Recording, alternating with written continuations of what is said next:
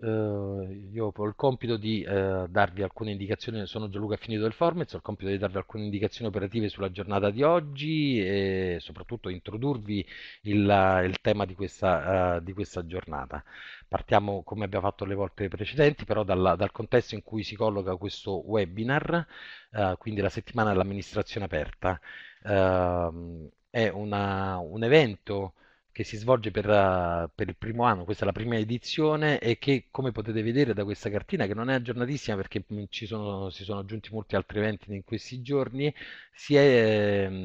ehm, si sta eh, svolgendo in contemporanea in tantissime eh, città del nostro paese. Alcuni eventi come questo si svolgono a distanza e quindi in qualche modo catturano, eh, raccolgono anche adesioni da parte di tutto eh, il paese.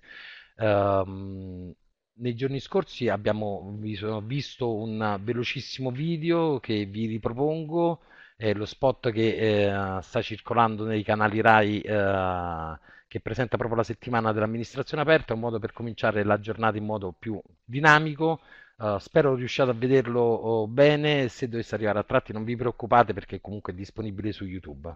La pubblica amministrazione si muove e si trasforma. Diventa più semplice, digitale e trasparente. Ed è solo l'inizio. Vieni a scoprire cosa cambia dal 4 all'11 marzo durante la settimana dell'amministrazione aperta. Perché tu puoi fare la mossa in più. Pubblica amministrazione aperta. Partecipazione è la soluzione. Visita il sito open.gov.it. Allora, partecipazione è la soluzione. Partiamo da qui perché eh, vi voglio dire che eh, non potete intervenire a voce, ma potete utilizzare la chat come state facendo da subito per interagire, per segnalarci eventuali problemi, ma soprattutto per interagire con i relatori di oggi, chiedere approfondimenti, chiarimenti, eh, curiosità sugli argomenti che, che affronteranno. Non è detto che riusciremo a rispondere a tutte le domande in tempo reale perché come vedete in questo momento siete oltre 400 partecipanti, quindi eh, ovviamente non, nei giorni scorsi non è stato possibile esaudire tutte le risposte, le domande, però forse avremo la possibilità in, uh, nelle prossime settimane di creare altre occasioni di questo genere per provare a risolvere qualche dubbio. Per le domande che ci sono, che, mi, che stanno arrivando e che riguardano più la, uh, problemi tecnici, allora per quanto riguarda le presenze verranno attestate nei prossimi giorni, non vi preoccupate, dalla settimana prossima troverete nella sezione miei eventi di eventi PA alle presenze attestate potrete compilare i questionari di gradimento e scaricare gli attestati. Per quanto riguarda i problemi di connessione, purtroppo non dipende da noi. Quello che, che posso dirvi è eventualmente mettete in pausa la webcam del relatore. Se passate il mouse sopra la webcam vedete che compare il pulsante pausa, potete mettere in, uh, mettere in pausa uh, il video e quindi uh, recuperare un po' di banda e sentire meglio l'intervento. Eh, Maria Rosaria, l'audio si interrompe spesso, purtroppo dipende dalla velocità di connessione con cui ti sei collegata alla stanza, non da, non da noi. Allora, sono le 12.05, quindi io non voglio rubare troppo tempo ai relatori, per cui passo alla presentazione di questa giornata. Il programma lo conoscete, però ve lo introduco uh, dicendovi che tutte le PA devono uh, rendere i propri servizi online accessibili tramite SPID. Questo ormai dovreste saperlo, soprattutto quelli di voi che lavorano nella pubblica amministrazione, in modo da favorirne e semplificarne l'utilizzo da parte dei cittadini. Nel webinar di oggi saranno presentati i requisiti che servizi digitali devono avere per essere efficaci e saranno fornite indicazioni su come le PA possono implementare SPID, con ampio ricorso alle best practice delle amministrazioni che hanno già dimostrato di usare correttamente la nuova piattaforma. In particolare quindi avremo il piacere di avere eh, Marco Bani, eh, capo segreteria tecnica di Agida, l'Agenzia per l'Italia Digitale, e poi due testimonianze, una del Comune di Venezia e una dell'Università della Sapienza che però vi introdurrò quando daremo la parola. Uh, allora, a questo punto io chiedo a Marco di attivare il suo microfono, nel frattempo carico anche la sua presentazione. Ci sono. Perfetto, allora uh, Marco ti lascio la parola e chiedo ai colleghi di, della Sapienza di disattivare la loro webcam. Sì, buongiorno a tutti, grazie della partecipazione. Eh, ho visto anche il programma del Formez che negli scorsi giorni ha comunque eh, regalato un bel po' di, di eventi interessanti, speriamo che anche questo di oggi possa interessarvi, incuriosirvi e anche stimolarvi a, a vedere cosa, cosa, stiamo facendo noi nell'Agenzia Pietà Digitale. Eh, abbiamo voluto chiamare il, il, programma di oggi, diciamo, l'intervento di oggi, linee guida di design per i servizi web della PA e identità digitali. Questi sono due filoni, due progetti che stiamo portando avanti e volevo partire appena riesco a caricare anche le slide che sono abbastanza uh, ricche di immagini, quindi magari ci vorranno un, un attimo qualche secondo in più. Eh, volevo raccontare il contesto sul quale noi eh, stiamo partendo, stiamo facendo un, un, lavoro introducendo una parola design che non è sicuramente qualcosa che il, eh, si sente spesso tra gli uffici della pubblica amministrazione. Ehm, il, noi abbiamo cercato da ormai da un anno e mezzo con l'introduzione di design.italia.it eh, di stimolare quella che è la ricerca di un'esperienza anche nella navigazione dei siti della pubblica amministrazione, nel, nell'esperienza di un, di un, sito web, di un servizio, a creare quelli che sono delle, degli elementi di, non solo grafici ma anche proprio di, di eh, comprensione, di semplificazione e altro, eh, che possono essere comuni e di supporto alle attività delle pubbliche amministrazioni nel loro rapporto quotidiano con i cittadini. Perché l'abbiamo fatto? L'abbiamo fatto perché partiamo da dei dati che purtroppo ci vedono eh, all'ultimo posto in Europa, agli ultimi posti, non, non all'ultimo, ma diciamo nella parte bassa della classifica, ehm, su il, per quanto riguarda l'utilizzo dei servizi digitali eh, il DESI, che è il, nostro benchmark più utilizzato, ehm, che è un, un, framework europeo di valutazione e comparazione delle politiche digitali, ehm, ci attesta eh, nei, appunto nel 25 posto in quanto a eh, servizi digitali. Eh, il DESI è uscito tre giorni fa, quindi una settimana scorsa, quindi in qualche modo eh, noi ora abbiamo ancora tanto da correre, abbiamo messo in moto delle eh, dei progetti, delle infrastrutture che cercano davvero di, risalire, di farci risalire la china in quanto a utilizzo. Il paradosso che mi piace sempre raccontare è che il, eh, metto, metto il microfono più vicino, eh, è che il, di fronte a un scarso utilizzo noi ne abbiamo un'offerta di servizi digitali molto ampia. Quindi perché non, perché non, il, non andare a guardare eh, quali sono anche i motivi che possono eh, supportare un migliore utilizzo. Noi abbiamo, vediamo che c'è una carenza di connettività e quello eh, si vede nel, eh, nel piano banda ultralarga e cerchiamo quello di recuperare. Poi c'è sicuramente un discorso anche di competenze digitali, che anche su questo è un altro filone, e poi c'è il terzo delle, dei, grandi, eh, dei, grandi, ostacoli che eh,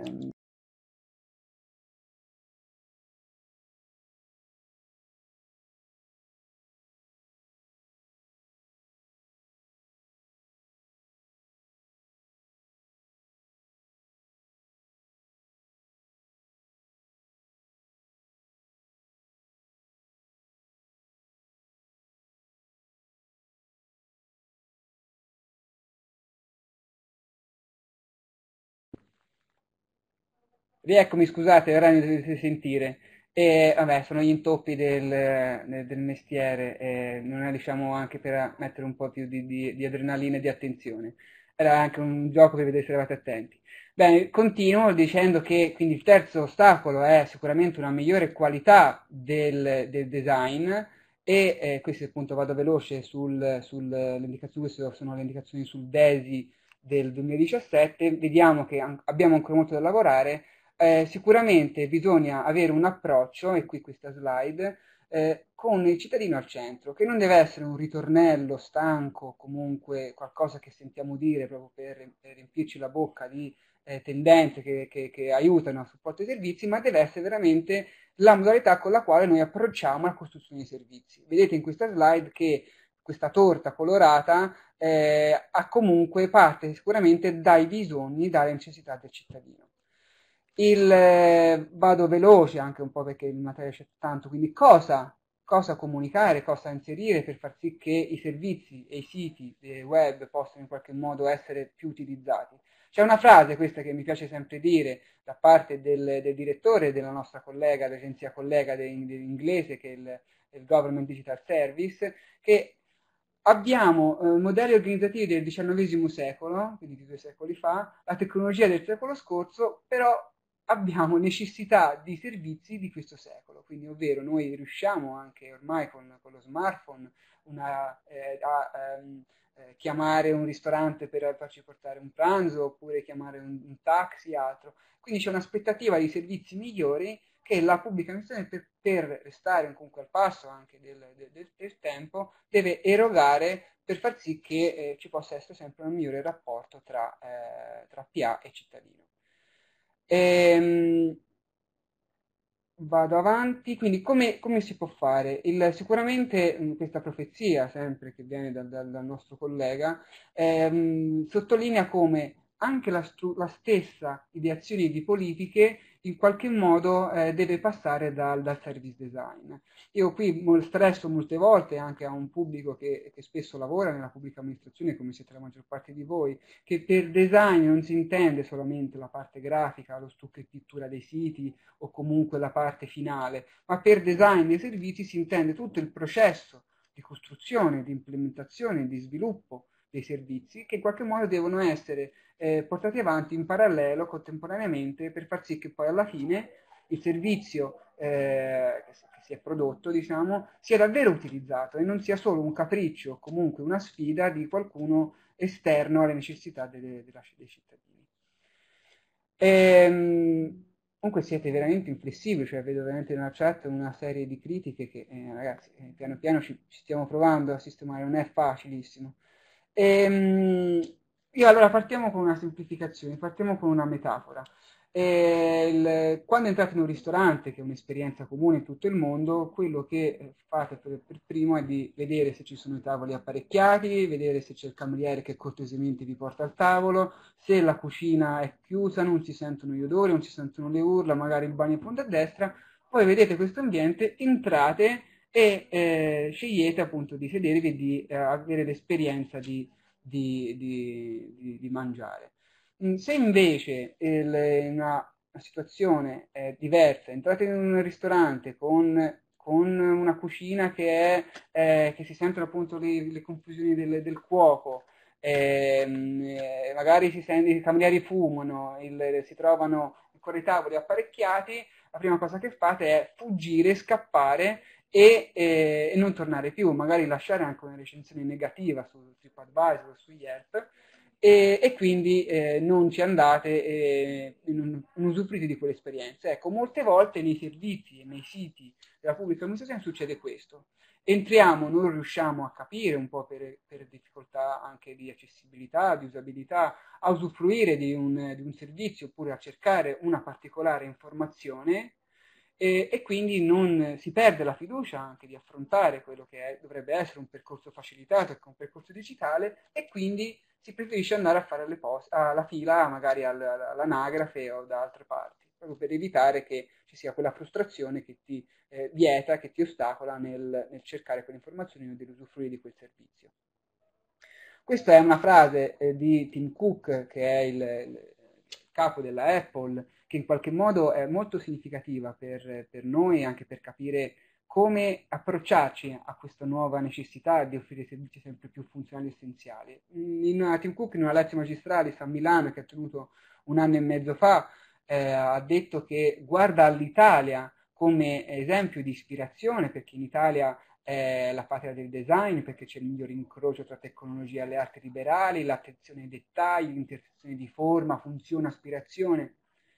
e che appunto l'Italia significa che l'eccellenza non vuol dire produrre eh, di più, non vuol dire fare tanto, ma produrre al meglio. Ecco, questo che mi, che mi ha fatto sorridere è come il, eh, loro guardino, loro, i guru della Silicon Valley, guardino a noi come, come eh, esempio da fare, mentre noi diciamo ah, bisogna diventare come Apple, come Google, come le altre multinazionali del digitale, e, e, invece basterebbe riscoprire un po' delle nostre anche peculiarità, della nostra capacità di comunicare, di creare dal, utilizzando i migliori metodi, utilizzando le eccellenze che, che abbiamo, per offrire qualcosa di valore.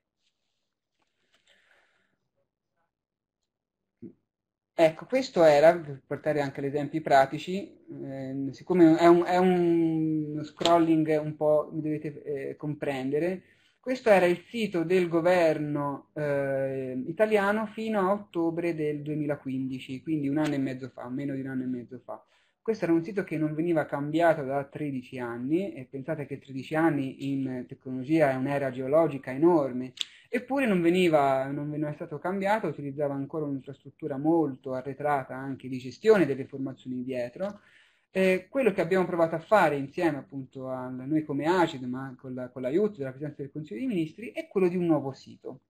che eh, per, per non farvi aspettare oltre questo risultato che potete andare a vedere, questo è uno screenshot, ma potete andare a vedere il sito di Palazzo Chigi anche ora col vostro mobile, e abbiamo cercato di ridargli un, diciamo, un'apparenza eh, moderna, o meglio, del presente. E, ehm, e cosa è cambiato? Cioè non è stato solamente un discorso di eh, eh, look and feel, di, di elementi grafici o altro, Vedete, noi questo, quel sito prima non aveva nemmeno una esperienza mobile, non, vero, non si poteva navigare dal cellulare, c'erano le informazioni in un'architettura messa un po' a caso. Ecco, quello che abbiamo voluto fare è ehm, la, collaborare con la Presidenza del Consiglio fa- e rilasciare contestualmente delle linee guida che potete trovare su design.italia.it, ma che ora eh, le vedremo meglio nel dettaglio, per far vedere che se il sito, eh, diciamo, eh, principale del governo può cambiare, lo possono fare tutti. Questo è un forte messaggio sia politico ma anche di, di organizzazione dei processi di cambiamento e se vedete questo, questo nuovo sito ha un, eh, elementi grafici, che si può, elementi strutturali anche che si possono trovare negli, ehm, nei siti utilizzati, ora non sto a fare pubblicità o altro, ma i social media sono in alto a destra, c'è la barra della ricerca in alto a destra, eh, no, guardate, non cerco di non intervenire guardando anche la chat, ma non, questo non è costato pochissimo. E, ehm, poi il menu, eh, il burger menu è in alto a sinistra come per utilizzarlo al meglio durante la navigazione mobile. E, ehm, ecco, questo è stato un, un esempio di come abbiamo, siamo riusciti, abbiamo affiancato l'attività amministrativa e, e, anche dei loro eh, sistemi informativi per riuscire a produrre qualcosa che possa essere davvero utilizzato al meglio. E, ehm, mh, abbiamo creato quindi, eh, se vedete design.italia.it, delle linee guida che hanno portato al, al, diciamo, a questa nuova infrastruttura, a questa nuova eh, modalità di erogazione dei, dei siti, eh, che hanno un'attenzione particolare appunto al, non solo a elementi visuali ma anche elementi di usabilità, di accessibilità e non è finita qua. A ruota sono eh, cambiati molti dei siti della, delle amministrazioni centrali in un eh, cambiamento che anche noi ci ha sorpreso in quanto a velocità, perché siamo sempre, eh, pensiamo sempre a siti eh, elefantiaci anche che non riescono a cambiare facilmente, invece e in successione, vi faccio vedere alcuni esempi, sia il Ministero per la, per la Semplificazione della Pubblica Amministrazione, questo è il sito vecchio e questo è il sito nuovo, sia il MIT, questo è il Ministero delle Infrastrutture del Trasporto, eh, che è cambiato, e vedete questo uh, è, il nuovo, è, il nuovo, sito che potete vedere anche ora. E sia il MIBAC, questo è il sito della direzione dei musei, e questo è il sito che c'è ora, ma sia anche, faccio fare l'esempio del Ministro degli Interni, andate a vedere interni.gov.it, andate a vedere il Ministero del Lavoro, eh, andate a vedere il Ministero eh, anche degli Affari Esteri, insomma un, un, ehm, un lavoro di, di, tessitura e di, di offerta anche di, di buone pratiche che ha condiviso tutta l'amministrazione centrale e che ha voluto dare degli elementi di, diciamo, coerenti ma non omogenei. Cosa vuol dire questo discorso qua? Vuol dire che eh, non è che si dà un sito di Stato e tutti devono essere, eh, utilizzare quello, ma per le peculiarità proprio dell'amministrazione, sia centrali che locali, e anche per la volontà di, di renderlo anche più personalizzabile possibile, ci sono degli elementi grafici eh, di struttura che devono essere in qualche modo obbligatori, come per esempio la fascia in alto per dire in quale amministrazione, quale amministrazione stai, stai, vedendo, eh, appunto i social devono essere sempre in alto a destra, ci deve essere la barra del, della ricerca delle informazioni, eh, che quindi è un qualcosa che tu sai che dentro, sai, stai navigando un sito della pubblica amministrazione. Il, ehm, poi ci sono alcuni elementi appunto eh, comuni come il footer, ma eh, quello che abbiamo voluto fare oltre è andare anche a, scusate ma ho difficoltà nello scrolling, ehm, anche andare a aiutare le realtà locali.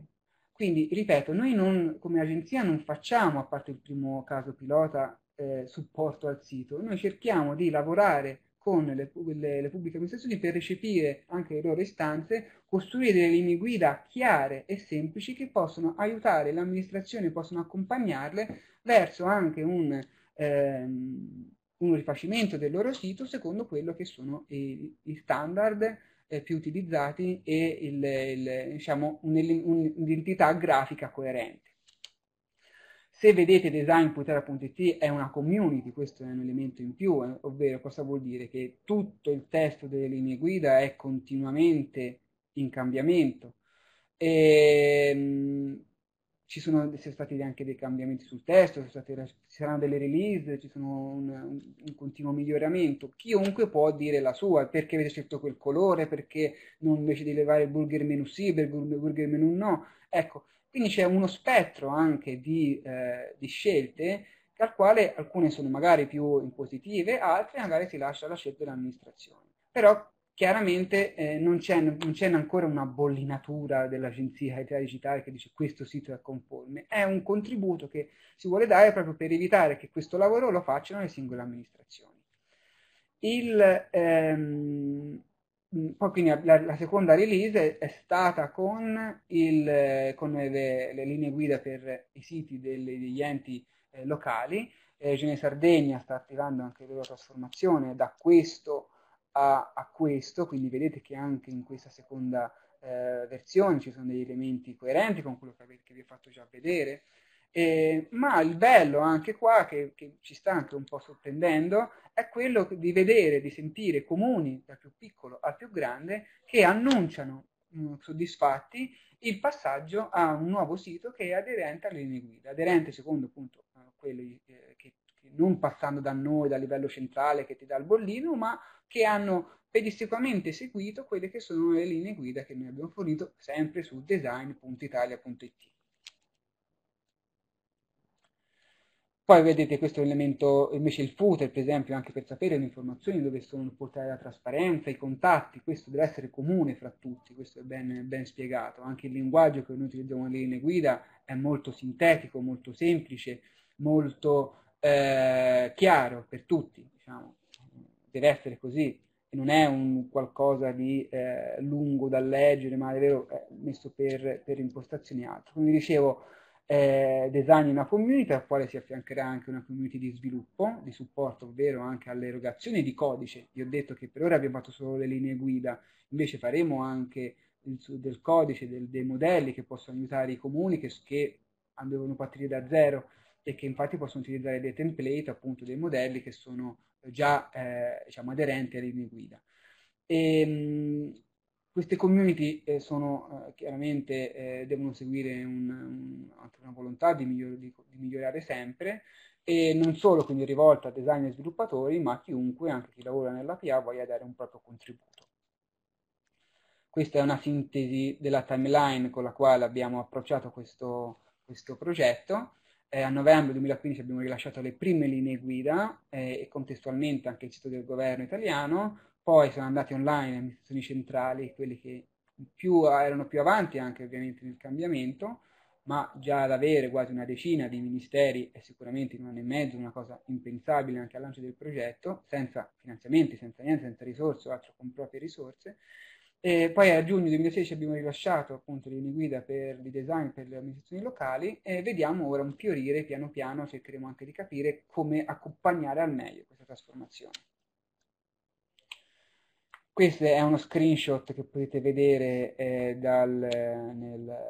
design.italia.it E se andate su, vedete è così, è uno screenshot semplicemente, vedete ci sono qualche elementi che devono essere caratterizzare un sito internet della pubblica amministrazione.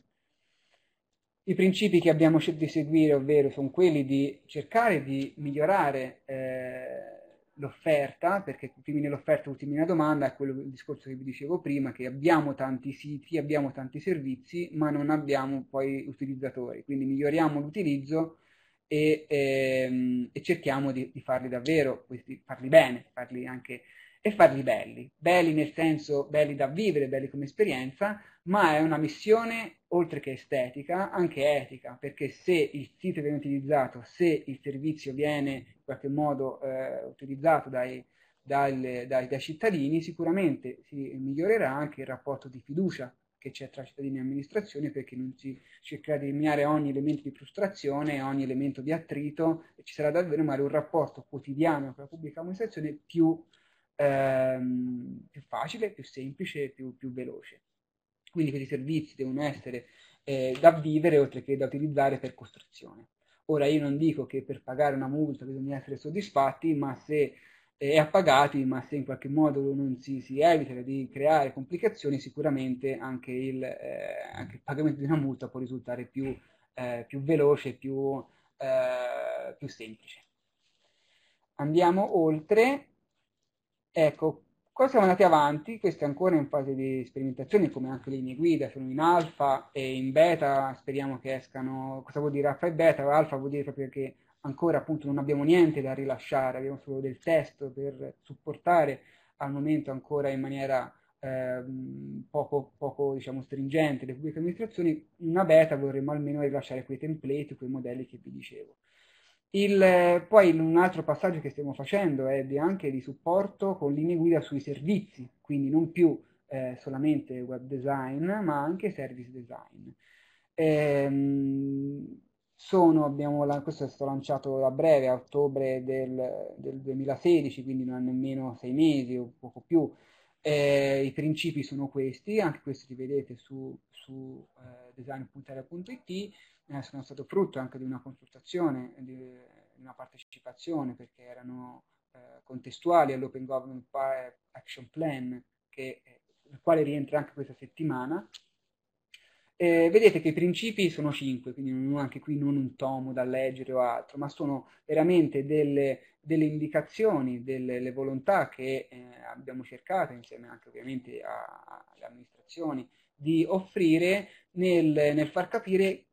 come andare, quale percorso intraprendere per far sì che si possano creare dei servizi che si utilizzeranno. Quindi il principio prima cittadini tutti vuol dire che si deve cercare di eh, eliminare tutti eh, gli ostacoli di qualsiasi natura, questo è, anche un po' un, una riedizione dell'articolo 3 della Costituzione, eliminare tutti gli ostacoli che in qualche modo evitano la partecipazione dei cittadini alla vita eh, pubblica e se si va sempre di più verso una digitalizzazione anche del nostro rapporto, sicuramente bisogna capire come promuovere al, al meglio i servizi e questa partecipazione. Eh, e anche pensare a chi non può partecipare in maniera digitale, questo è, un, è, è importante. Eh, innovativi per tradizione, dialogare per migliorare, questi ve li potete leggere tranquillamente, sono scritti in un linguaggio che eh, comprensibile a tutti, proprio perché sono principi che devono guidare tutti, non solo chi deve procurare i servizi, nella comprensione anche di cosa chiedere. Se i cittadini cominciano a chiedere servizi più, più eh, sicuri, più semplici, più veloci, sicuramente ci sarà un'attenzione maggiore. Vado oltre, poi appunto 5 principi e 10 strategie per eh, attuarli, questo un livello di, di tecnicismo più elevato, eh, anche questo potete eh, aprire, ho, ho, diciamo, esploso una delle 10 strategie, vedete che sono eh, semplici, sono poche righe, però danno un'idea anche delle indicazioni. Vi faccio un esempio. Quando dico comunica efficacemente, spesso ovunque, vuol dire che non, per esempio anche per eh, sviluppare dei canali di comunicazione con il cittadino, non dovete creare altri canali, ma sfruttare quelli che già ci sono, e qui mi rivolgo a social media, social network e altro. Quindi eh, andare dove veramente il cittadino è, quindi capire anche prima i suoi bisogni, come si diceva anche, anche all'inizio, e costruire su, sui suoi bisogni e su come opera proprio questi servizi. Eh, vado oltre, ecco, chiudo dicendoci gli ultimi 5 minuti, poi lascio la parola a Alessandra che in qualche modo ha anche fatto partire tutto questo e vediamo anche come lei poi riuscita anche a implementarli. Eh, Speed è la porta di accesso ai servizi, eh, è cosa, una delle più, cose più importanti. E Speed compie un anno il 15 di marzo, eh, quindi eh, rifaremo i festeggiamenti e in qualche modo vuole, ehm, viene volgarmente chiamato PIN unico, perché volgarmente? Perché è un, un pochino più complicato di questo, ma può dare l'idea di avere un'unica password, un'unica username per accedere a, eh, per adesso a tutti i servizi della pubblica amministrazione e in futuro, in un futuro prossimo, anche ai privati. Eh, perché, abbiamo, perché, si è creato Speed, Speed appunto permette di, un utilizzo più semplice dei servizi perché non bisogna ricordarci tutte le N credenziali con le quali noi ci siamo iscritti all'Inps, all'INAIL, ai servizi locali e altro, ma attraverso appunto l'utilizzo di, di Speed si potrà in qualche modo dimenticarci dei post-it o delle altre eh, diciamo, noti, le altre note che noi mettiamo da qualche parte per ricordarci le password. Eh, con un'unica username e un unico password è anche più facile questo. E, ehm, e Speed è sicuro perché appunto è, rientra anche in un contesto di sicurezza da parte della, della, europeo, è già compliant a EIDAS, che è un po' il, il framework normativo col quale eh, ci chiedono una sicurezza stringente. Ovviamente sarà molto più difficile entrare con Speed, ovvio, diciamo, non è molto più difficile, è molto meno facile entrare eh, con Speed che con un qualsiasi social network, però è, è molto più sicuro, non c'è profilazione, non c'è non c'è tutti quei, eh, quel, eh, dovrei aprire un altro paragrafo, non ci sono quei rischi che si corrono quando si, si entra solamente con, con magari un, un account del, del, nostro social network preferito. E poi è veloce perché appunto è, si può utilizzare Speed anche su mobile e, e non c'è quel, quell'ostacolo di essere davanti a un computer per, per utilizzarlo. E a che punto siamo? Speed ha 5 identity provider accreditati, ovvero eh, non c'è un gestore unico nazionale delle identità, ma proprio per garantire anche una sostenibilità di tutto il progetto, ci si rivolge a uno dei cinque enti provider accreditati, ovvero quelli che erogano poi l'identità, che ti riconoscono che sei per esempio Marco Bani e che, e che certificano che tu sei quella persona lì, eh, ci sono i cinque sono Team, Sielte, Infocert, Aruba e Poste, eh, si possono scegliere anche tutte e cinque, eh, diciamo come avere cinque carte di credito, si può avere anche cinque identità, basta poi quando però si entra, si entra viene riconosciuti non come Marco Bani o di Posto, o di Team o di Sielte, ma come Marco Bani, punto e basta. E, ehm, mh, abbiamo già 3.720 amministrazioni attive, quindi comunque siamo soddisfatti, la normativa prevede che ci sia l'utilizzo di SPID nel, entro il 2017, Ehm, abbiamo a bordo 4.273 servizi, quindi è già un bel, un bel passo in avanti sicuramente. E ehm, ci sono eh, l'INPS, può entrare nei servizi dell'INPS, nei servizi del 730.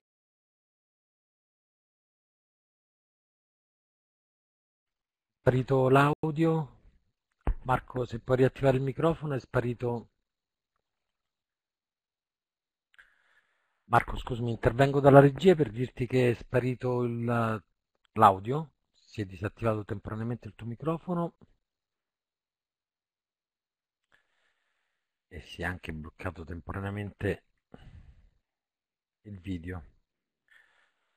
Allora, comunque eravamo quasi in conclusione di questo intervento motivo per cui se Marco non riesce a ricollegarsi eh, in tempi rapidi io passerei all'intervento successivo, eventualmente poi le conclusioni di questo intervento le possiamo rimandare alla fine della, um, degli interventi degli altri relatori. Va bene, sì. Allora direi di passare all'intervento successivo. Marco, se stai ascoltando e comunque te lo scriverò dopo in chat privata, uh, rimandiamo la fine dell'intervento a dopo. Vedo la dottoressa Alessandra Poggiani in, uh, in, webcam, le chiedo di attivare il suo microfono e intanto che carico la presentazione introduco molto velocemente il suo intervento. La dottoressa Alessandra Poggiani che è stata citata precedentemente anche da Marco Bani è attualmente direttore generale di Venis, Venezia Informatica e Sistemi, cioè l'azienda di servizi ICT del Comune di Venezia. È stata citata da Marco perché nella, uh, un paio d'anni, fa era direttore generale di Agide, quindi è, è, stata proprio lei a mettere in moto tutta una serie di iniziative di cui poi Marco oggi vi stava parlando. Eh, Alessandra, le lascio la parola e buon intervento. Un, soltanto, le rubo soltanto qualche altro secondo. Chiederei a tutti i partecipanti, ma veramente ve lo chiedo con, uh, così, con uh, massima di collaborazione, cercate di utilizzare la chat per interagire in modo costruttivo con i relatori. Cioè, alcuni di voi stanno utilizzando la chat in maniera estremamente polemica, cosa veramente poco opportuna per un incontro del genere che deve essere un seminario formativo e informativo su temi che dovrebbero interessare tutti voi. Finora abbiamo tollerato questo atteggiamento, non credo che riusciremo a tollerarlo fino alla fine del webinar. Prego, dottoressa. Buongiorno, buongiorno. Io tra l'altro mi allaccio all'intervento di Marco per portarvi un esempio eh, che abbiamo realizzato qui a Venezia anche in collaborazione con Agid ehm, ad aprile direi dell'anno scorso, si è poi concretizzato da giugno. Eh, ed è un esempio che eh, tiene insieme le linee guida di cui vi ha parlato Marco e e sugli obiettivi delle quali non, non, aggiungerò altro perché mi pare che il suo intervento sia stato molto chiaro eh, e eh, l'opportunità del sistema pubblico di identità digitale, lo SPID, per eh, abilitare servizi all'interno di un ambiente eh, più, ehm, più usabile e accessibile da parte dei cittadini e delle imprese. Il eh, concetto fondamentale dietro questa rivisitazione, che è stata complessiva della presenza online del Comune di Venezia, è stata quella di utilizzare l'occasione delle linee guida e dello SPID per provare a pensare a un sito che fosse più possibile simile a quello, eh, un, a quello, dei privati rispetto allo standard che eh, anche Marco prima vi ha illustrato dei siti pubblici. Perché? Perché come Marco diceva eh, abbiamo, e purtroppo è stato confermato dall'indice DESI eh, di quest'anno appena uscito, un eh, tasso molto basso di utilizzo dei servizi pubblici online, eh, peraltro appunto col paradosso invece di essere uno eh, dei, ehm, dei, dei, dei paesi dell'Unione che ha più servizi pubblici disponibili online e questo sicuramente ha una componente di eh, scarsa competenza e, e eh, poca diffusione dei servizi eh, nella popolazione, eh, ma a nostro avviso eh, anche, eh, trova anche ragione nella difficoltà di interagire con i siti della pubblica amministrazione, che sono sempre o molto spesso mappati sulla eh, struttura dell'ente, quindi sulle funzioni dell'ente, e meno invece in maniera intuitiva rispetto a quello che eh, cittadini e imprese cercano rispetto ai servizi della PA eh, sui loro siti. Di questa è stata eh, l'idea centrale e quindi di, quello di cercare di passare questo che, che vedete nelle slide, il vecchio sito portale del Comune di Venezia, ha una PA eh, con un design eh, centrato su se stessa eh, e quindi eh, diciamo che espone i propri servizi pensando alla propria organizzazione, pensando alla propria anche gerarchia di funzioni, eh, passare da questo a una presenza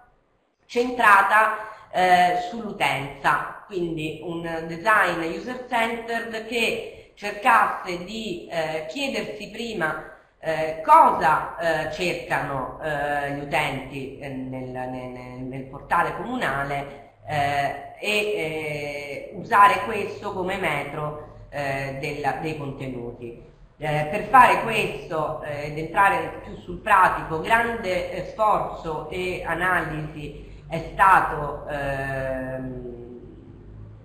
destinato all'analisi di, di quelle che erano le visite, le interazioni e i servizi più utilizzati del sito precedente, oltre a quello di aver utilizzato degli alfa group di utenti per cercare di capire quali erano le difficoltà maggiori di interazione. Vedo nella chat che viene eh, richiesto da qualcuno quali sono i servizi attivi a Venezia con lo SPID, ci sono eh, oggi le iscrizioni scolastiche, la prenotazione della carta d'identità elettronica, tutti i certificati anagrafici e demografici, quindi dalla residenza piuttosto che a certificati di nascita, eh, ci sono le autorizzazioni per i trasportatori, questo è un servizio che mi rendo conto per altre città essere un po' oscuro, noi abbiamo come sapete acqua e terra e quindi i trasportatori che si devono muovere dalla terraferma alla laguna hanno bisogno di un processo autorizzatorio che è disponibile sullo SPID.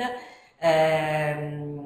la eh, iscrizione oltre che alla scuola, agli asili, alle scuole comunali, anche alle mense scolastiche, eh, e poi c'è l'utilizzo del wifi pubblico, i 250 spot di wifi e le credenziali eh, so, per, per, accedervi sono speed e eh, fra gli altri servizi eh, ci sono anche quelli dei tributi e del cambio di residenza e domicilio. Eh, non so se me ne sono dimenticato qualcuno, comunque il sito a disposizione www.comune.venezia.it li potete, li potete trovare da soli e, e l'obiettivo è entro giugno di quest'anno di completare la migrazione di tutti i servizi che esistono e che ancora non sono stati connessi allo SPID. Eh, peraltro eh, a vantaggio di quelli che seguono questo webinar e che provengono da enti locali, noi abbiamo realizzato un connettore servizi con lo SPID per, con tutti gli identity provider che abbiamo messo in riuso e che già altre amministrazioni come il Comune di Firenze, Reggio Calabria hanno utilizzato che eh, appunto eh, noi a titolo gratuito mettiamo ovviamente il riuso per tutti quelli che vogliono utilizzarlo. Ritorniamo eh, a, a, a, quello che vi stavo presentando, cioè la nostra eh, registrazione in chiave utente eh, e per questo per esempio l'home page non è più eh, destinata alle news o alla presentazione del comune ma ha un primo blocco che è eh, completamente eh, disegnato sui servizi. Quindi abbiamo privilegiato eh, i servizi eh, rispetto alle informazioni eh, sul portale. Questo anche per, eh, perché pensiamo che il sistema pubblico di identità digitale sia importante, sia molto importante la sua diffusione, pensiamo che adesso che è stato fatto lo sforzo di realizzarlo eh, non sarà possibile una sua eh, diffusione eh, capillare finché non ci saranno un numero di servizi importante che giustifichi il, la, la, la, non dico il fastidio, ma comunque il fatto che le persone eh, occupino del loro tempo per prenderlo. Eh, e certamente questo sarà ehm, più facile una volta che i servizi anche privati, come quelli dei trasporti per esempio, o quelli bancari, eh, attiveranno lo SPID, eh, ma più sono i servizi pubblici e più eh, si trova un vantaggio. Oggi un cittadino eh, veneziano può eh, fare la dichiarazione IMU, può iscrivere i suoi figli a scuola, può eh, scaricare comodamente anche da cellulare i suoi certificati anagrafici e con la stessa password guardare il suo fascicolo previdenziale eh, sul sito dell'Inps o pagare le sue imposte o avere il rimborso delle sue imposte eh, sulla, sul sito dell'Agenzia delle Entrate. Non è moltissimo, ma è, è un, un passo importante. Vi dicevo, abbiamo quindi privilegiato anche per questo motivo i servizi eh, e abbiamo cercato di georeferenziarli, quindi troverete sul nuovo sito, che ormai non è più tanto nuovo perché sono ormai più di sei mesi del Comune di Venezia, che eh, servizi, sportelli e informazioni sono eh, georeferenziate, questo ha una particolare importanza in una città come la nostra che ha una dimensione in termini di chilometri molto ampia e anche una sua eh, declinazione fra terraferma, lagune e isole particolare, però può essere sicuramente da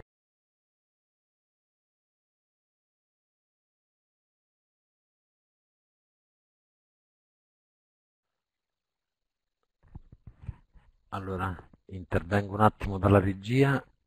Questo sta diventando veramente il webinar più complicato di tutta la settimana, un po' per problemi tecnici, un po' per uh, veramente anche la maleducazione di alcuni partecipanti in chat, mm, che stanno addirittura mettendo in discussione la pertinenza degli argomenti affrontati con l'argomento. Se non avete letto neanche il titolo del, del webinar, vi chiediamo anche di lasciare la stanza, ma senza alcun problema. Dottoressa Poggiani, se è bloccata la sua webcam, webcam le chiederei di chiudere la webcam e riattivarla e provare a, a rintervenire, ehm, a rintervenire.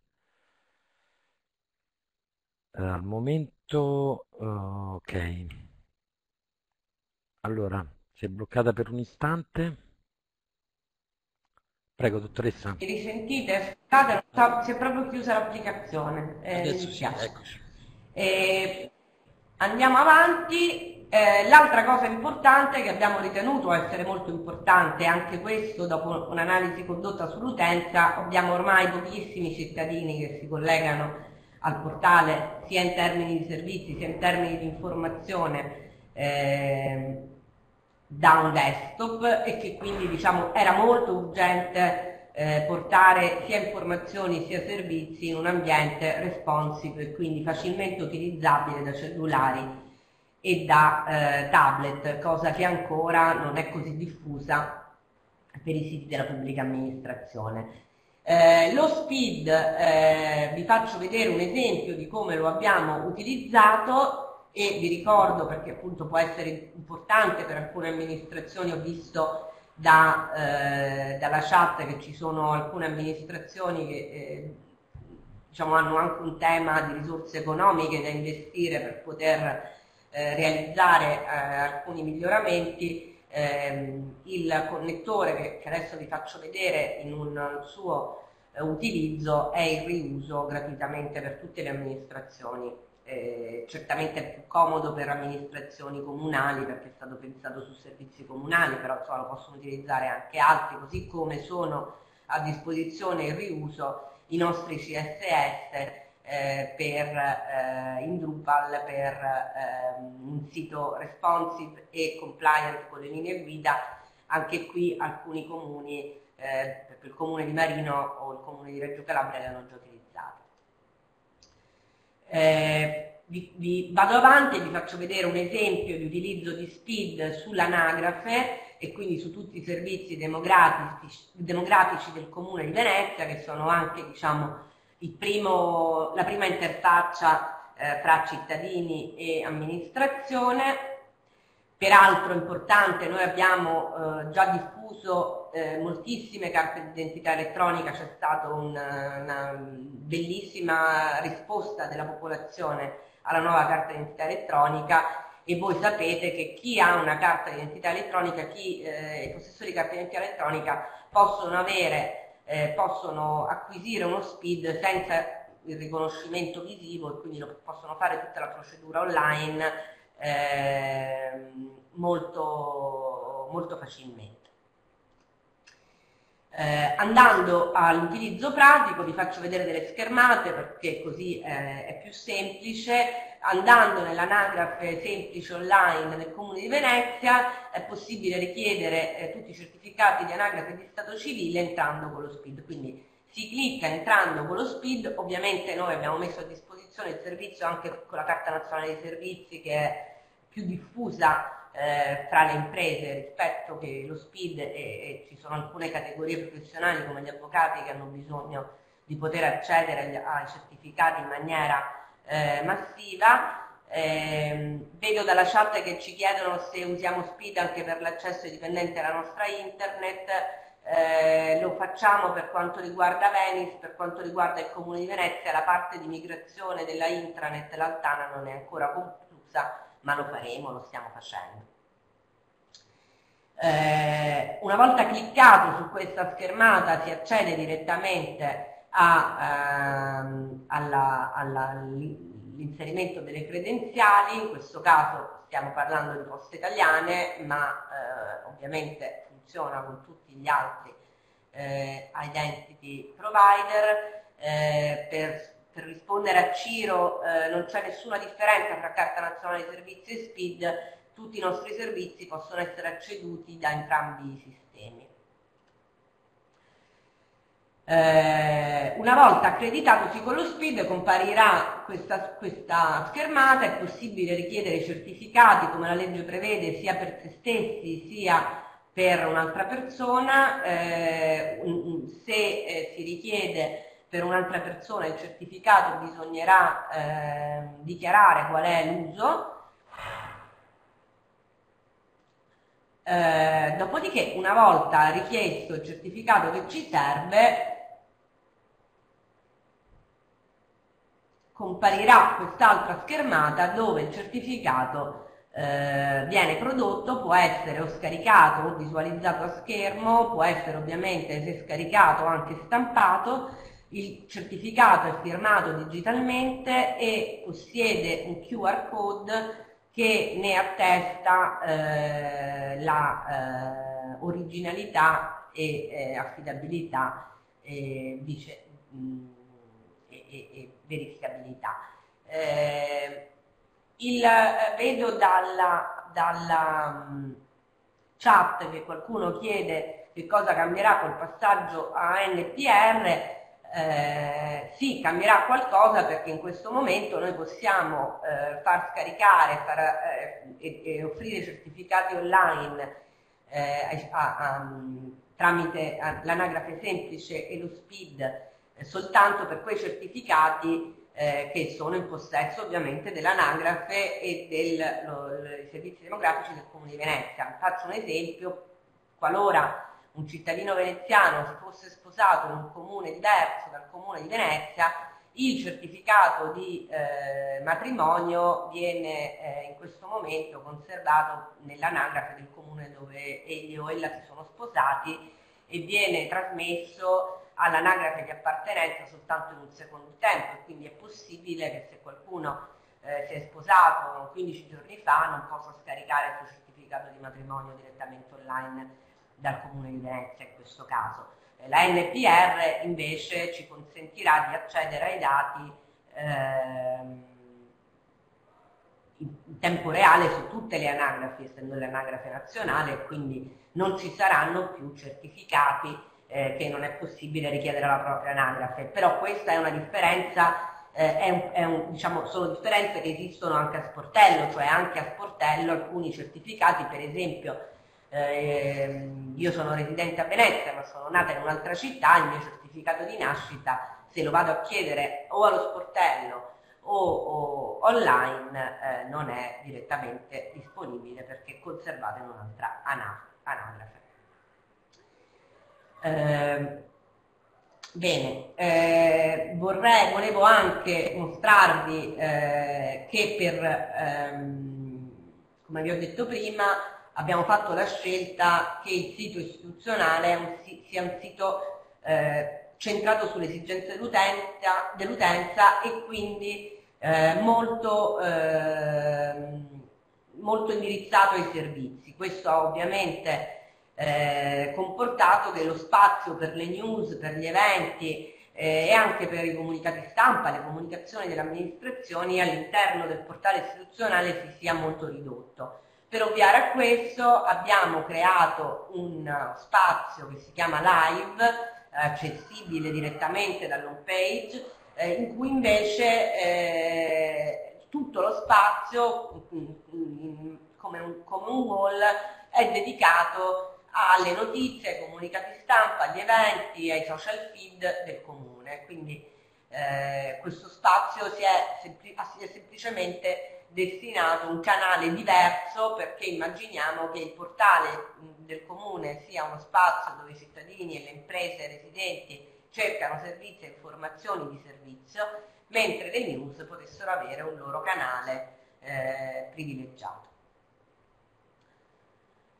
Eh, allo stesso modo abbiamo questo nel nostro caso, ma è il caso di molte città d'arte italiane, eh, cercato di non confondere le informazioni turistiche e l'e-commerce eh, del Comune di Venezia, l'e-commerce destinato per esempio ai trasporti pubblici, agli eventi e ai musei del Comune di Venezia che possono essere acquistati eh, online attraverso Venezia Unica, anche su questo abbiamo preferito un eh, canale parallelo che quindi non confondesse e diciamo, non compromettesse l'identità del portale di servizio per i cittadini ehm, e, e che quindi trovasse un suo canale definito, ovviamente in questo caso multilingue e eh, con un altro indirizzo, ancorché accessibile eh, direttamente dall'home page anche del portale istituzionale. Eh, vedo che eh, ci sono domande sul, sul, riuso, come ho detto prima, noi abbiamo eh, messo in riuso sia i CSS che sono in Drupal eh, del sito del portale, che quindi possono essere utilizzati eh, da tutti i, i, comuni che volessero.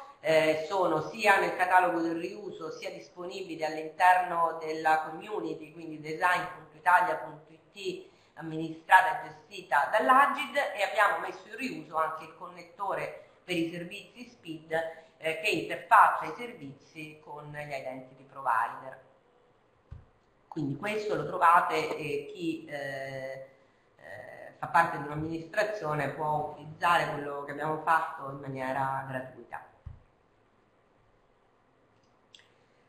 Eh, per concludere, non, Marco ha eh, più, in maniera più approfondita prima eh, descritto bene a cosa servono le guide di design per i siti web della PA che eh, appunto sono eh, disponibili sia per le pubbliche amministrazioni centrali che per quelle locali. Ci sono eh, c'è un, una, una community molto ricca all'interno di design.italia.it che non solo eh, diciamo, mette a disposizione supporto gratuitamente, ma mette a disposizione proprio anche componenti, eh, come ho detto prima i nostri CSS sono a disposizione, eh, ce ne sono anche altri, quindi tutte le amministrazioni che volessero eh, potranno utilizzarle in maniera gratuita e eh, diciamo con, sicuramente con un po' di sforzo interno, eh, però eh, diciamo con un investimento economico molto contenuto possono percorrere eh, lo stesso cammino che abbiamo fatto. Su questo eh, sia sull'utilizzo di SPID sia sulla rivisitazione dei propri siti c'è da dire che eh, sicuramente eh, c'è un'innovazione tecnologica che richiede alcune competenze, ma dal nostro punto di vista lo sforzo più grande è, stata, è stato quello eh, organizzativo. Eh, perché, eh, come dicevo prima, mappare contenuti e servizi rispetto alle esigenze dell'utente è eh, molto complicato finché le amministrazioni sono organizzate per funzioni e quindi eh, hanno eh, un'architettura che è molto diversa dall'architettura dei contenuti eh, che, eh, deve, a cui si deve tendere eh, per, per,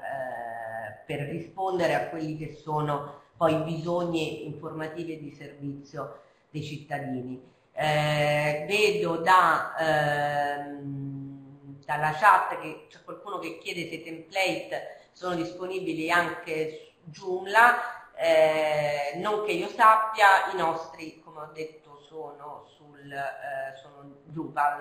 eh, peraltro Drupal è anche ehm, il sistema consigliato eh, dalle lingue guida, ovviamente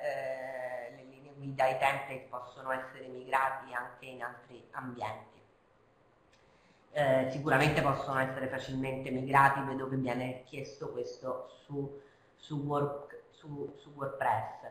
Eh, per quanto riguarda invece la domanda sull'ordine di grandezza dello sforzo economico, noi abbiamo speso intorno ai 20.000 euro, ma abbiamo fatto tutto da capo. Eh, se eh, un'amministrazione utilizza CSS e connettori SPID messi in riuso eh, potrebbe eh, provare, eh, se ha un po' di competenze interne, a non avere costi eh, se non quelli ovviamente del personale, che sono sicuramente anche quelli costi eh, in termini di effort e di tempo, ma potrebbe anche eh, c'è oggi la possibilità di percorrere eh, questo cammino e di, eh, di realizzare un nuovo sito con una gestione diversa dei contenuti e nativamente con dei, dei servizi nativamente disponibili su Speed senza acquisti esterni. Io eh, se non ci sono eh, vedo che c'è eh, qualche domanda su social media manager, eh, questo non lo gestiamo noi, noi siamo la società eh, tecnologica, quindi noi abbiamo messo la, la piattaforma e ci occupiamo di, di, di, tutti i connettori, di tutte le tecnologie, oltre che della realizzazione dei CSS e della grafica. Per quanto riguarda eh, i contenuti eh, di tipo news, social e eh, di altro tipo, eh, se ne occupa l'ufficio comunicazione del Comune di Venezia che viene abilitato da, da strumenti. Noi abbiamo anche realizzato eh, per loro un, un bot Telegram eh, e un servizio di alert eh, per i cittadini che si iscrivono, eh, ma eh, i gestori eh, sono direttamente all'interno del, del Comune di Venezia. Così come un altro degli sforzi organizzativi fatto a valle della realizzazione del sito è quello di definire eh, i profili di, amministrator, di, amministra di, di editor scusate, dei contenuti eh, e eh, una redazione diffusa all'interno di diversi uffici del Comune di Venezia per poter contare su un aggiornamento delle informazioni di servizio eh, sempre, sempre eh, aggiornato. Eh, vedo la domanda, no, 20.000 euro, mi riferivo a tutto il rifacimento del portale del Comune di Venezia, incluso il canale eh, O News, incluso eh, la rivisitazione del sito per il turismo e è incluso anche il connettore eh, e i connettori per migrare i servizi sul, sul speed eh, invece che sulle credenziali eh, precedenti. Mi pare che il tempo a disposizione sia concluso. Eh, vedo che eh, per, per eh, avere il connettore eh, speed in riuso eh, dovete scriverci o a noi, ai sistemi informativi del Comune di Venezia, chiederlo il riuso è sul catalogo del riuso del Comune di Venezia. Grazie mille dottoressa Poggiani per l'esaustività del suo intervento e soprattutto per aver, essere riuscita a gestire anche in tempo reale le...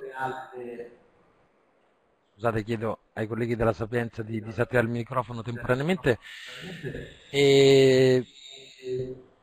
tutto molto chiaro, complimenti, grazie. venice.it eh, se qualcuno ha bisogno di informazioni su come richiedere il riuso. Ve lo scrivo, venice at venice.it. Arrivederci. Grazie mille, grazie mille per il suo intervento. A questo punto chiedo ai colleghi della Sapienza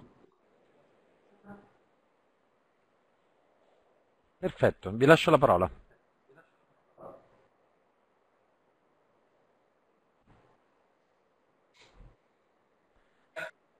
Non vi sentiamo?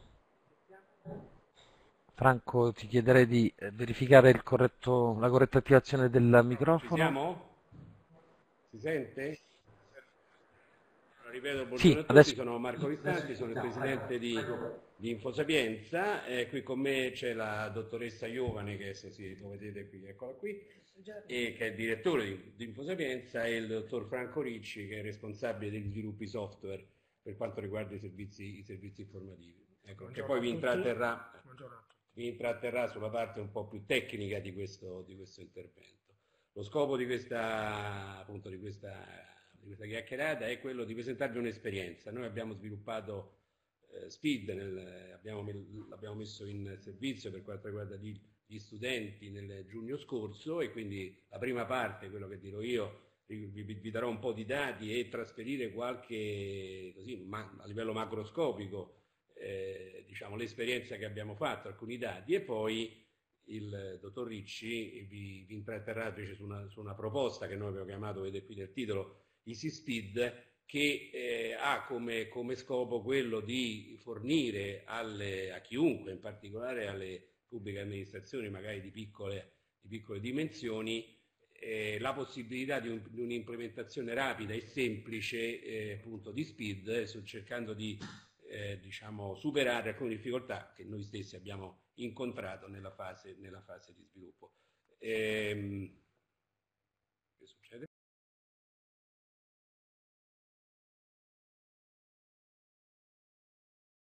Um, diciamo, la prima eh, due parole su Infosapienza. Eh, Infosapienza è il centro dell'Università di Roma Sapienza che ha in gestione praticamente tutti eh, diciamo, i servizi informativi di Sapienza, sia dal punto di vista della gestione sia soprattutto per lo, per lo, diciamo, per lo sviluppo. E il, um, Infosapienza ha uh, diciamo, come organico circa 70-80 persone che sono dedicate sia al, appunto, allo sviluppo sia alla gestione dei sistemi.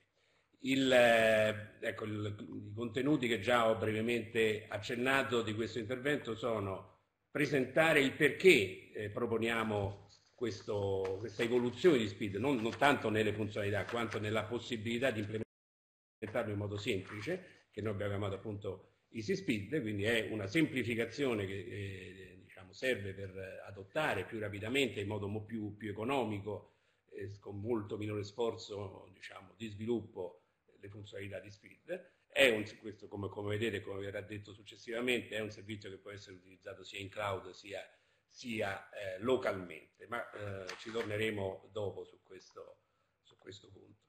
Speed è stato implementato da Sapienza eh, nel, fin dal giugno dell'anno scorso, quindi abbiamo un'esperienza di di circa un anno, questo a seguito dell'accordo che abbiamo firmato con eh, il Ministro Mattia che ha dato il via a questa, a questa, a questa esperienza, è la prima università d'Italia che si è dotata di, questo, di, questa tipologia di accesso. Tanto per parlare di cifre, il, eh, insomma, Sapienza ha oltre 100.000 studenti attualmente, attualmente iscritti, il, eh, noi abbiamo implementato in questa fase SPID per, eh, come accesso alternativo a quello classico su, con username e password per i servizi diciamo, dedicati agli studenti. Noi abbiamo un applicativo gestionale studenti che si chiama InfoStud, come vedete qui nella slide, e, e questa, quella, quella, che li vedete, è oggi il, la, la, maschera di, di, accesso ai servizi di InfoStud che comprendono praticamente tutte le pratiche che uno studente deve fare, dall'iscrizione all'immatricolazione, alla prenotazione esami, gestione esami, richiesta certificata e quant'altro. Eh, quindi eh, questi sono eh, diciamo, i servizi che oggi Sapienza, eh, a cui uno studente può accedere tramite SPID eh, diciamo, a Sapienza. In generale, poi oltre i 100.000 studenti iscritti, abbiamo circa un milione di studenti, che si sono, di ex studenti, che saltuariamente per varie esigenze, eh, diciamo, sì, per esempio di certificati che servono vita normale e accedono a questo, a questo servizio e anche loro eh, possono utilizzare diciamo, questo tipo di, di, di, accesso. Quindi vedete un accesso alternativo. Le, I dati che, che vi do adesso sono quelli relativi agli accessi che abbiamo avuto, eh, gli accessi di tipo SPID che abbiamo avuto in questo anno, circa anno, insomma nove mesi di utilizzazione del, del servizio. Come vedete abbiamo un numero di accessi globale, adesso lì non c'è la cifra globale, dell'ordine di circa 4.000, 3.800 circa, che si sono, ovviamente vanno, essendo un servizio legato agli studenti, si concentrano nei, nei, mesi in cui ci sono il tasso più alto riguardo alle le iscrizioni, le immatricolazioni e quant'altro, vedete quei, quei picchi di traffico di accessi dell'ordine di circa di oltre 500 accessi al mese. Certo, se confrontati, eh, quindi diciamo, il numero di accessi globali in, nove mesi sono circa 4.000, e se confrontati ovviamente con il numero di accessi in Fustud allo stesso applicativo fatto con uso nel parso è una percentuale molto molto molto bassa. Questo perché chiaramente la, la, difficoltà maggiore non è tanto dare la possibilità di accedere, questa è la prima, è la prima esperienza, la prima conclusione a cui uno può arrivare, non è tanto dare dare la possibilità di accedere tramite SPID ad un servizio, ma eh, l'utente deve essere in grado di, di, farlo, quindi il problema è quello tanto di fornire identità digitale, agli, in questo caso agli, agli, studenti. Il programma della, della Sapienza è quello di eh, innanzitutto allargare quanto più possibile al proprio interno l'accesso tramite SPID ai propri servizi e questo eh, allargandoli sia a tutti gli altri servizi per gli studenti ma anche a tutti i servizi riguarda il personale docente e non docente. Questo è l'obiettivo, che, che, abbiamo. La prima eh, cosa che viene in mente è per aumentare questa, il tasso di utilizzo di SPID, per esempio noi abbiamo intenzione, eh, questo è un progetto che abbiamo in atto, di in qualche modo agevolare gli studenti che si, che si iscrivono e si immatricolano a Sapienza fornendogli tramite un accordo, un accordo con, con, un identity provider, qualsiasi, fornire noi il, diciamo, con, automaticamente con le pratiche di immatricolazione eh, l'identità digitale. Questo dovrebbe facilitare l'utilizzo in seguito eh, appunto dell'accesso di, di, digitale. Che succede? Ecco, questi sono, sono, i dati, non, sono, non, li può leggere come crede. Queste sono le esperienze, qui chiudo la mia eh, diciamo, prima parte di questo intervento di sapienza, e, diciamo, le, le, le, impressioni, le, diciamo, le, conclusioni a cui siamo giunti in questa, in, diciamo, durante la fase di sviluppo dell'accesso suite. Innanzitutto abbiamo, noi abbiamo uh, diciamo, un gruppo di sviluppatori eh, che si è dedicato a questa, a questa impresa e quello che, che, è emerso è che l'implementazione diciamo, richiede una certa expertise, una certa, quindi è complessa di per sé, almeno quella nativa così come le specifiche di SPID richiedono. Eh, questa è la prima, quindi immagino che per esempio una pubblica amministrazione che non ha a sua disposizione un gruppo di sviluppatori dedicato possa trovare delle difficoltà a eh, diciamo, implementare direttamente, direttamente SPID, se non ovviamente ricorrendo a forze, for, forze esterne. Quindi l'idea di Easy Speed è proprio per semplificare innanzitutto questo tipo di, di l'approccio Secondo, eh, non, non, è presente un ambiente, per così dire, ufficiale di test, per cui anche, anche, anche l'implementazione per provarla, per vedere se tutto è corretto, per avere una, una, diciamo, una sicurezza che poi quando si va in produzione le cose funzionano, è, è mancante. Questo è un altro punto dedicato e poi manca eh, una serie di document una documentazione completa che aiuti lo, diciamo, lo sviluppatore a eh, arrivare, arrivare, a eh, realizzare in modo completo, certo e sicuro questo accesso. Questi sono un po' i, i, punti che noi abbiamo visto essere critici nella nostra esperienza di, di, di sviluppo, più altri aspetti tecnici che adesso il eh, dottor Ricci vi, vi, illustrerà, vi illustrerà come, in, diciamo, eh, come funziona EasySpeed, perché riteniamo essere più semplice, perché riteniamo essere una soluzione molto più adatta molto più utilizzabile dalle pubbliche amministrazioni, ripeto, quelle più, più piccole con, minero, con, minore risorse interne di, di, sviluppo per realizzare nel tempo più rapido possibile, in modo efficiente, in modo sicuro, l'accesso SPID. Do la parola a Franco, io mi faccio da parte. Ecco. Allora, buongiorno a tutti, continuo l'intervento del Presidente. E, allora, Brevemente, qual, cosa, qual è l'idea che è dietro eh, Easy Speed? Easy Speed vuole semplicemente essere un intermediario che dia la possibilità a un generico service provider di, as di astrarsi completamente dall'utilizzo dello standard SAML 2 sul quale è basato Speed. Oh, eh, eh, vi anticipo che il mio intervento sarà abbastanza tecnico, quindi vista la platea che ho a disposizione, immagino che non ci siano, non ci siano problemi. Uh, vedo una domanda dicendo che EasySpeed sarà in riuso, ovviamente sì, siamo una pubblica amministrazione e il codice di tutte le pubbliche amministrazioni, come sapete, è per definizione riutilizzabile da altre PA. Ehm, quindi, diciamo, eh, riprendendo, eh, EasySpeed è un, è un middleware, in, in, in termini tecnici è un middleware che permette, che si interporrà fra l'identity provider e il generico service provider. Molto, uh, molto, sem molto semplicemente questo è uno schema di flusso di come dovrebbe avvenire l'interazione fra il generico utente, il service provider, EasySpeed e l'identity provider. Quindi l'utente che cosa farà? L'utente normalmente chiederà accesso ad un servizio del service provider utilizzando uh, il canale, l'autenticazione SPID. Il service provider invece di parlare direttamente, di parlare direttamente eh, con l'identity provider utilizzando le specifiche di SPID, inoltrerà la chiamata a, al servizio EasySpeed, che eh, è più semplice da utilizzare perché? Perché si basa, perché si basa su, un, su, degli standard più, più, accessibili in questo momento a livello, a livello tecnico. Quindi utilizza dei, dei web services RESTful e eh, dei, un, dei, messaggi di scambio basati su, sullo standard JSON, a differenza di Speed che utilizza XML e, un, e il protocollo SOAP. Ovviamente queste API di scambio tra il service provider e il Speed possono essere ampiamente mh, personalizzate eh, e quindi possono essere più aderenti alle necessità del service provider. Una volta che il service provider quindi attraverso le vie di speed inoltre la chiamata, ok? EasySpeed provvederà semplicemente a rimappare quella chiamata nei metodi corretti per interagire con l'utente di provider attraverso il protocollo SAML2. A quel punto ehm, il, il, browser del, de, dell'utente verrà reindirizzato verso di provider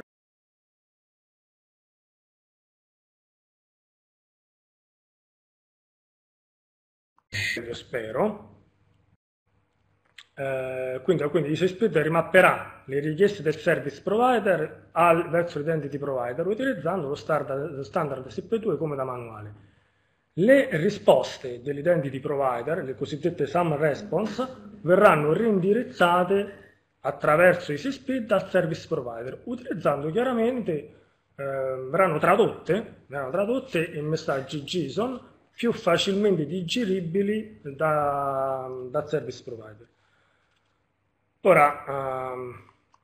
tutto questo in che, in che, cosa si traduce? Si traduce in una serie di caratteristiche del servizio EasySpeed. EasySpeed ha una collezione di API che gestiscono l'intero ciclo di autenticazione in maniera trasparente e facilmente configurabile da parte del service provider. Come ho già detto, si basa su servizi web di, web, su servizi web di tipo RESTful basati su messaggistica JSON. Eh, la necessità di utilizzare questo approccio è collegato direttamente alla vastità di librerie in ambito di sviluppo che utilizzano ad oggi questi web service. Librerie che non sono altrettanto vaste e comunemente diffusi per eh, il protocollo SOAP. E ovviamente mh, ci sarà un ambiente di test per permettere agli sviluppatori di verificare il corretto funzionamento dell'autenticazione.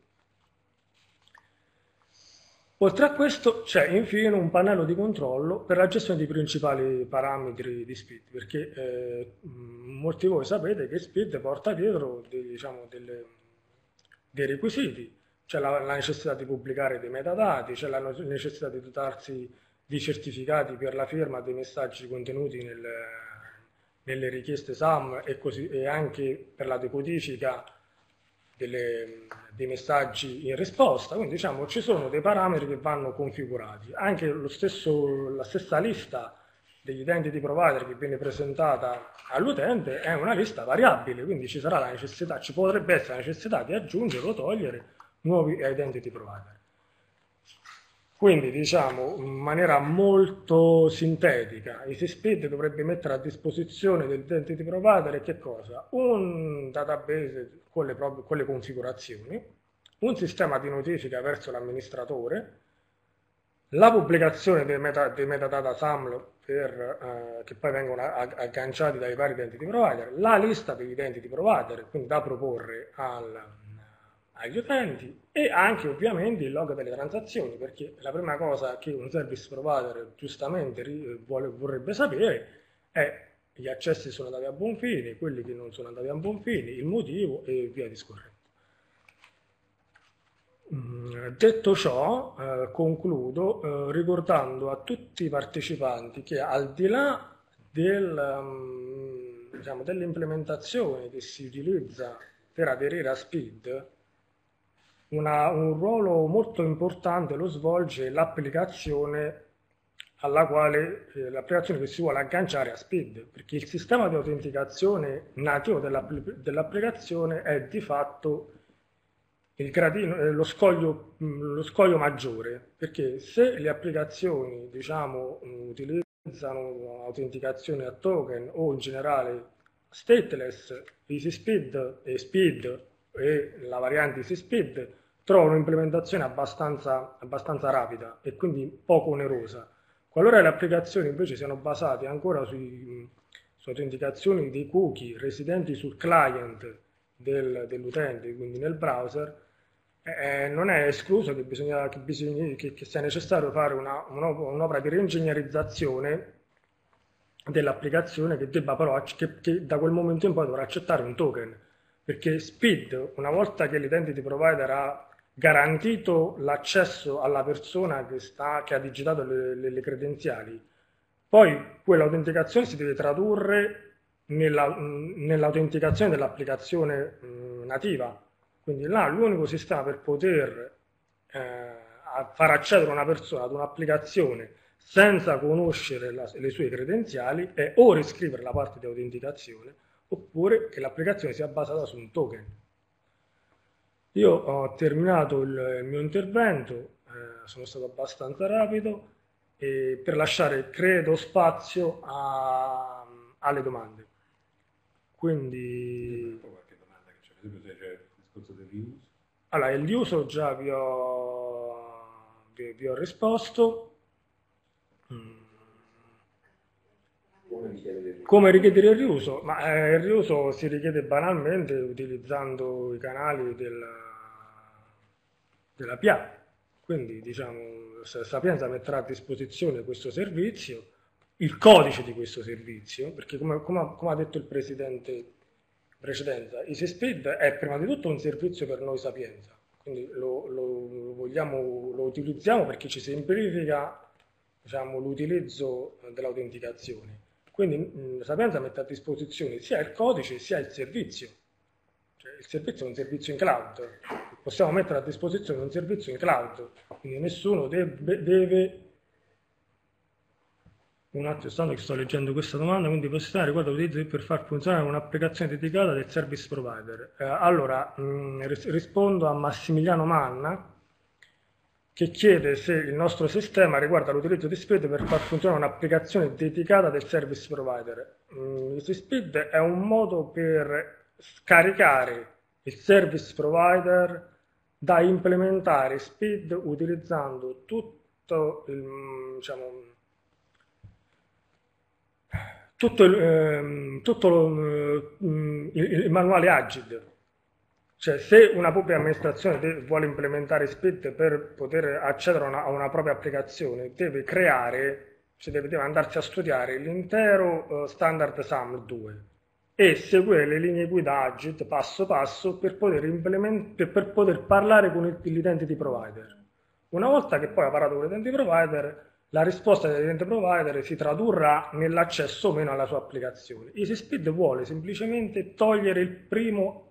il, diciamo, il, il primo effort, quello di, di, dover implementare in maniera canonica l'insieme eh, delle regole agili, quindi cercare di facilitare il colloquio con l'identity provider per riuscire ad ottenere dall'identity provider una risposta più, mh, mm, eh,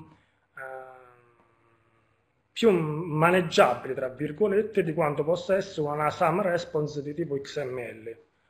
Quello che c'è dopo è un, una cosa che è a prescindere da Speed e dall'implementazione di Speed che ne viene dietro. Cioè poi il service provider deve necessariamente riuscire a, a far parlare la risposta dell'identity provider con la sua applicazione. Ehm, allora, eh, diciamo, leggo una domanda che mi sembra abbastanza particolare. Easy Speed mi sembra interessante più per le software house che per l'ente finale o sbaglio? Eh, dipende, dalle, dipende, dall'ente finale, cioè dipende da che ruolo svolge l'ente finale. Cioè, se l'ente finale eh, diciamo, eh, ha, ha, ha dato tutto quanto fuori, allora chiaramente diciamo, lui eh, chiamerà la sua software house, gli chiederà di implementare, eh, di implementare Speed dall'A alla Z. Qualora invece la, il service provider, la, la, pubblica amministrazione, ha un minimo di controllo sui suoi, su, su, su, sul suo software, sicuramente Easy Speed è un, un valore aggiunto perché lo scarica da tutta una parte implementativa che invece dovrebbe, dovrebbe svolgere. Ah, un'altra, un'altra,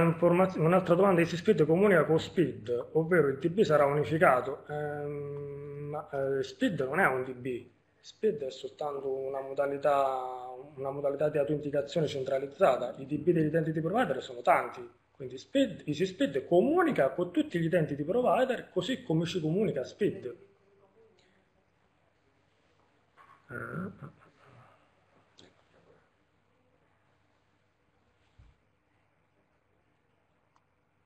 i piccoli comuni non hanno risorse interne sufficienti da sviluppare e infatti è proprio questo il discorso, cioè proprio perché i piccoli comuni non hanno un software house alle spalle,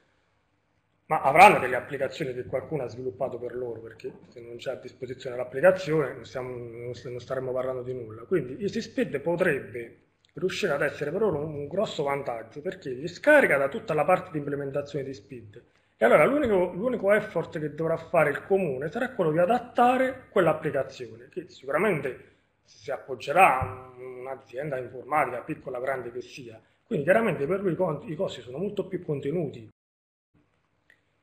Mm, viceversa invece una software house nel momento in cui si deve, si deve, diciamo, deve implementare speed dall'A alla Z chiederà una, una cifra diversa.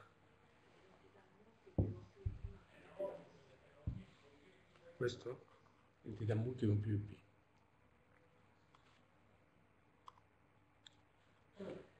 Il problema delle identità multiple con più IP, ma uh, su, in SPID l'IP non gioca nessun ruolo, perché ciò che conta è la username e la password che viene fornita verso l'identity provider. Quindi il fatto che io mi colleghi da un IP e poi venga, venga nattato non... Se quel enti provider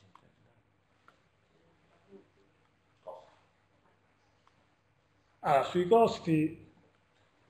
allora, torno a ripetere, allora, se si, si prende il codice di EasySpeed e si installa presso il loco, quello è un codice, quindi eh, siamo delle pubbliche amministrazioni, quindi quel codice può essere preso e utilizzato gratuitamente.